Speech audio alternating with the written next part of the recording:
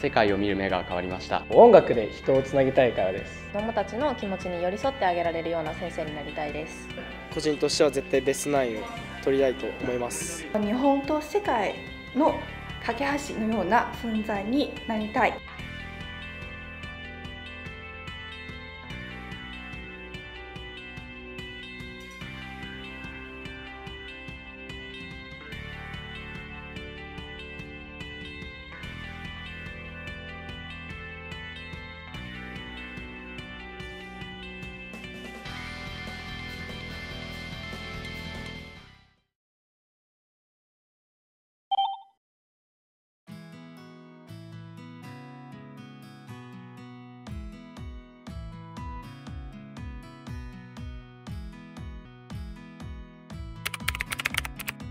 えーとまあ、公共市民学選手の特徴であり魅力でもあると思うんですけれども、えーと、カリキュラムが非常に、えー、特徴的だなというふうに私たちは思っています。えー、公共市民学選手の場合というのは、えーまあ、一つの選択肢に限定してスタートするのではなくて、えまあ、たくさんの選択肢があるっていうことを、まあ、認識してそこからのスタートというところが、まあ、一つ大きな特徴だと思います。で具体的にはですね4つの分野の柱があるんですけれども、えー、と4つのうちの1つが、えー、政治法学です。で2つ目が、えー、社会学で3つ目がメディアコミュニケーション学。で4つ目が経済学。この4つが柱になっていましてそれを好きなものだけ取るのではなくてまず、まあ、好き嫌いせずに全部の分野をきちんと勉強する。でさらに3年生になったらそこで自分がどの分野に進んで深掘りをしたいか。ということで自分たち自分が、え望む、え勉強学問というのを3年生以降さらに、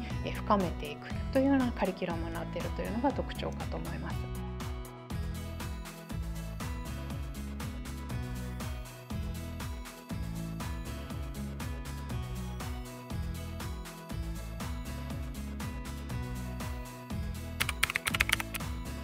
政治学って言ったらその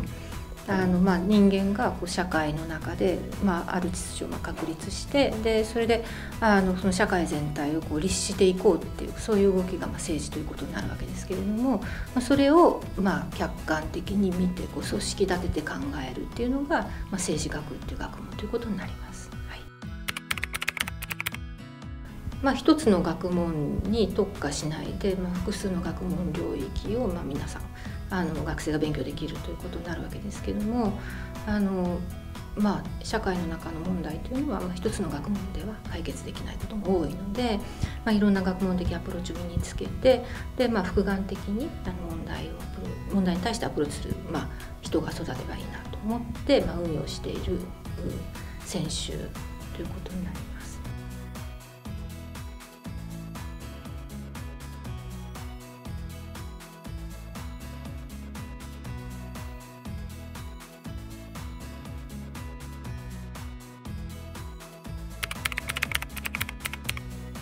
現在のデジタルメディアが21世紀に入ってとても私たちの意識や行動に影響を与えていると思うんですねそのメディアを介して私たちのコミュニケーションの在り方や人とのつながり方やあるいはそれを通した社会全体の仕組みがどういうふうに変わってきているのかということを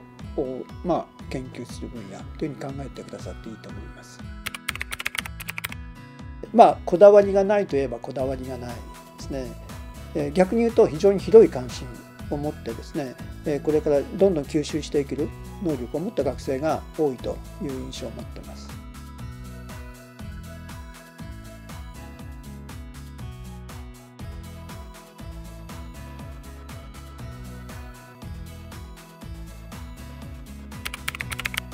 はい、えー、社会学どういう学問かってすごく説明するの難しいんですけど私なりに言い換えて言うとあの宿命と可能性についての学問だと思っててつまり社会を生きていくのが宿命なわけですよね。でそういう私たちが生きていかなきゃいけない社会っていうものの成り立ちあるいはそれを私たちがどういうふうに作り上げているのかっていうことを考えていくのが社会学ですね。で可能性っていうのは私たちが作っている以上変えていくことができるのでその社会っていうものがあるさまざまな可能性について考えていくことができる学問だっていうふうに言えばいいかなって思います。公共市民学は例えばそのどこに自分が合ってるのかわからないっていう人が入ってからその自分た自分に合ったものを見つけていくことができるところだと思うんですね。それからもちろんあの政治を勉強したいとかそれから法律を勉強したいっていうふうにも最初から思ってる人もいるかもしれないですけどそういう人にとってもそのそれを追求しながらこう他の社会科学の可能性も知りあるいは教育学部にある他のさまざまな学問のに触れながら自分の興味関心を見つけて追いかけていくことができるところじゃないかなと思うので結構お得でおすすめなところだと思うので迷っている人は是非受けてほしいなと思います。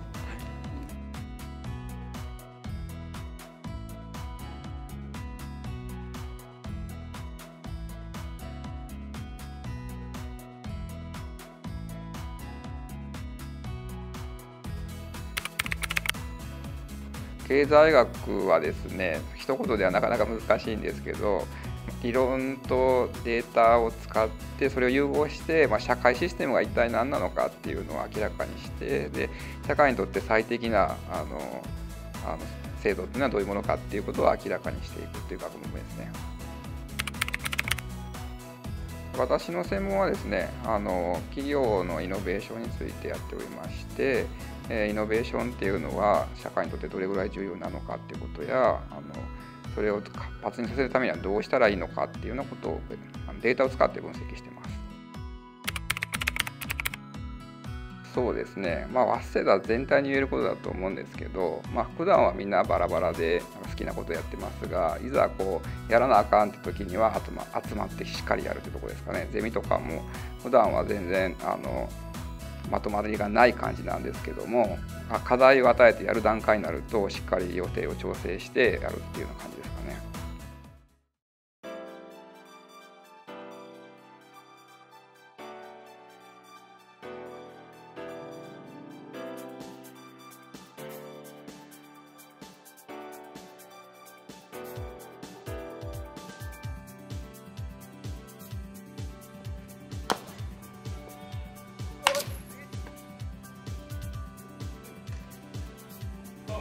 1年生から野球部に所属しています。今はレギュラーとして毎週他大学との練習試合を重ねています。ゼミでは経済学を学んでいます。部活との両立はとても苦労しましたが3年間ここまでやってきてとても今は充実しています。今年の春はスタメンとして試合に出させていただいたんですがなかなか個人としてもチームとしても思うような結果が出なかったので年の秋は個人としては絶対ベストナインを取りたいと思います。チームとしても、えー、優勝を必ずして明治神宮大会でも優勝して4年生を気持ちよく送り出せるようにしたいと思います。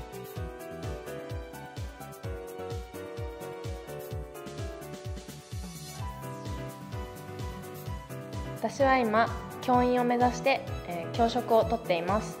きっかけとしては、えー家庭科の先生をしていた母に憧れていたからです、え私が教員になったら現在の詰め込み型教育を変えていきたいです、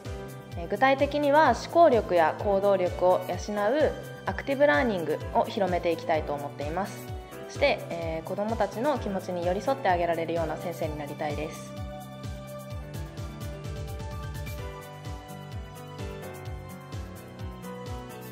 えー、僕は海外旅行が大好きでこれまで40カ国近くを訪れました。文化に触れるのが好きで高校生の時からよく一人で海外を旅行してたんですけど大学に入ってからもアルバイトで得た収入を貯めて長期休みに数週間何カ国かをまとめて回る旅を繰り返してきました。公共市民学選手に入って幅広いジャンルの授業を受けてから世界にはびこる違和感というのを感じるようになって世界を見る目が変わりました。実際に自分も何か問題に間近で携わろうと思って大学のサークルでマレーシアのボルネオ島の学校に通えない不法移民の子どもたちに教育支援をするボランティア団体に入って現地で活動するようになりました。現在も人間や社会について考える新聞学のゼミに所属しています。これからも多くの国に足を運んで視野を広げようと思ってますし将来も世界を舞台に世界の少しでも多くの人が精神的にも物質的にも豊かな生活を送れるような手助けができる仕事に就きたいと考えています。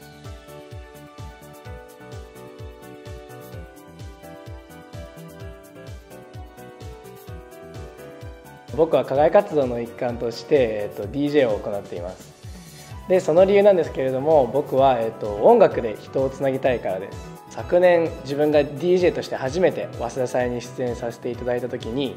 自分たちがかけた音楽で、えー、一体感や高揚感を作り出すことができました、えーと、好きなことをやれる環境が早稲田大学にあると思います。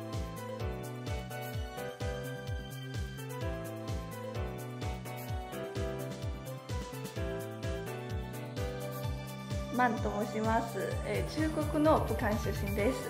えー、私のような中国人留学生を最も早く受け入れた大学でありで早稲田はもうこのような多様性と個性を尊重している、まあ、オープンな文化が自分に合っているだと感じました、えー、私は留学経験をきっかけにして将来世界という舞台で活躍したいと考えています。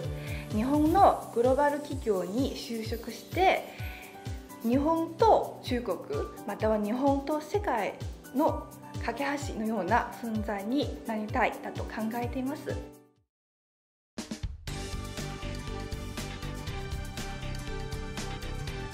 東京市民学専修で待ってます。